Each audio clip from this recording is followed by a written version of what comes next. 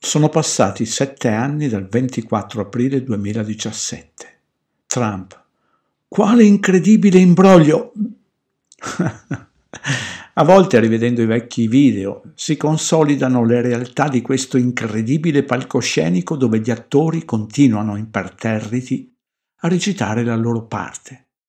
C'è ancora chi crede che Trump sia il soccorritore della società caduta nella schiavitù della paura e non sa che è un sionista come Biden, servi dello stesso padrone. Trovate il video del 22 agosto 2020 attraverso il prezioso indice alfabetico. Sapete che quando fanno le gaff dicono la verità? Gustatevi il video che ho tradotto con pazienza e che ho sottotitolato e scoprite da soli la verità.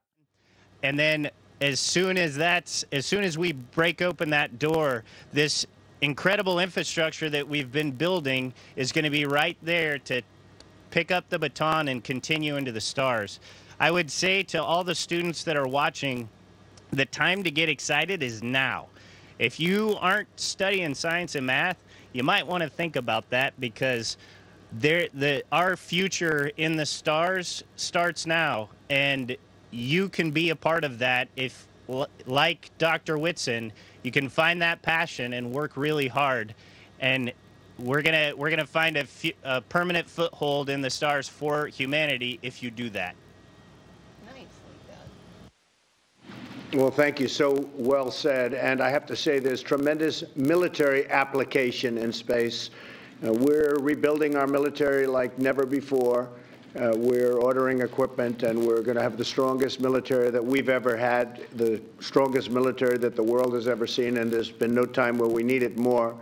And I'm sure that every student watching wants to know what is next for Americans in space. Uh, I'm very proud that I just signed a bill committing NASA to the aim of sending American astronauts to Mars. So uh, we'll do that. I think we'll do it a lot sooner than we're even thinking. Uh, so which one of you is ready to go to Mars? Are you uh, ready? And I, I think you're ready. I know you're ready, right? We just discussed that. She'd like to go to Mars very quickly. Who's ready to go to Mars up there? Ready to go to Mars up there. We are absolutely ready to go to Mars. Uh, it's going to be a fantastic journey getting there and very exciting times. And all of us would be happy to go. But I want all the young people out there to recognize that the real steps are going to be taken in a few years. And so by studying math, science, engineering, any kind of technology, you're going to have a part in that, and that'll be very exciting. I just want to thank you very much. And Dr. Whitson, I just, uh, congratulations. Amazing. What an amazing sheet. Uh, what an amazing sheet. Uh, a thing that you've done.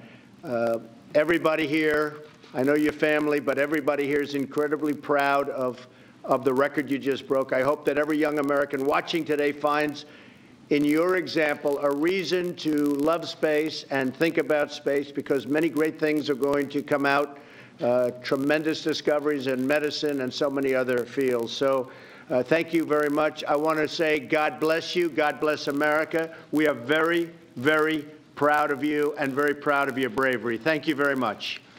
Thank you very much. Thank you, sir.